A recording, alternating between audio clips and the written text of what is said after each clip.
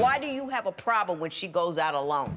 If I see her going out and, and doing the same shit I see other girls going out and doing, I'm not fing with it. But that's not Big right. facts. Nia, why are you here? I'm here because at a certain point I didn't feel like he had respect for me. Let's throw to Exhibit B and see if we can flesh that one out. Most of the he's done has been over social media. He's called me hoes, bitches, all kind of stuff. Oh, love make you do wild stuff. I can't pretend I'm not alarmed, because I am. Like Soulja Boy, he shouldn't have said that. But why do you react so, so much aggression though? Like, how, how does she bother you that much? My attitude towards him is definitely because of the things he's done.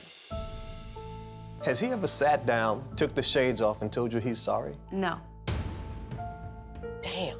So maybe that's something we need to hear in the next 10 days.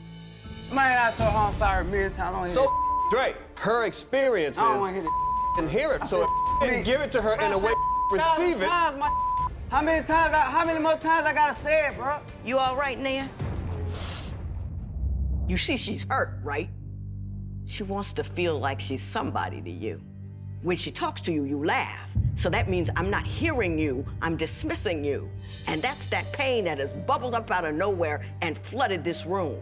And I need you to hear that. Waka, what do you see? How old was you when you first rapped? 16, How old are you now? 28. So he been doing this half his 28, life. 14 years.